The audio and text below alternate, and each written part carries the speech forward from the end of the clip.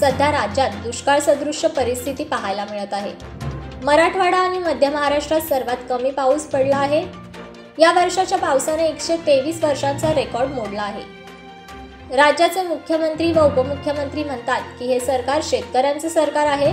मात्र शेतकऱ्यांसाठी मुंबई एपीएमसीमध्ये निवडून आलेले शेतकरी प्रतिनिधी व व्यापारी प्रतिनिधी शेतकरी व व्यापाऱ्यांना खड्ड्यात घालून गोव्यात मौजमस्ती करण्यात व्यस्त आहेत आम्ही तुम्हाला दोन व्हिडिओ दाखवणार आहोत यामधील एका व्हिडिओमध्ये मुख्यमंत्री एकनाथ शिंदे यांनी सांगितल्यावर पणनमंत्री अब्दुल सत्तार. मार्केटमध्ये पाहणी दौरा करतात तर दुसऱ्या व्हिडिओमध्ये तुम्ही पाहू शकता की कार्यवाहू सभापती आपल्या संचालक मंडळासोबत बीच हॉटेल आणि कॅसिनोमध्ये मोजमस्ती करण्यात व्यस्त आहे. व आपल्या आठवणी राहाव्यात यासाठी सर्वांनी वेगवेगळ्या अँगलमध्ये फोटो सेशन केला आहे.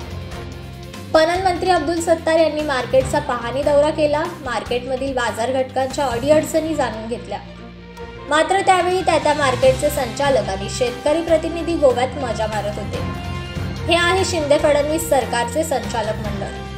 पणन मंत्री यांनी अगोदर सदस्य समितीची बैठक होती. त्या बैठकीत झालेल्या कामावर परत काम करण्यासाठी जवळपास तीस ते पस्तीस कोटी रुपयांची कामे मंजूर करण्यात आली. त्यानंतर शेतकरी प्रतिनिधी व व्यापारी प्रतिनिधी गोव्यात निघून गेले. नंतर सभापती अशोक डग धनंजय वाडकर देखील पणन मंत्री गेल्यावर विमानाने गोव्याला पोहोचले. ते शेतकरी व्यापारी कामगार व कर्मचाऱ्यांना खड्ड्यात घालून गोव्यात मोजमस्ती करत आहेत. त्यामुळे अशा संचालकांची हकालपट्टी करून चांगले प्रशासक नियुक्ती करावी अशी मागणी सध्या बाजार घटक करत आहेत आज पणन मंत्री अब्दुल सत्तार मार्केटचा पुनर्विकास व अपात्र संचालकांच्या पात्रतेसाठी बैठक घेत आहेत.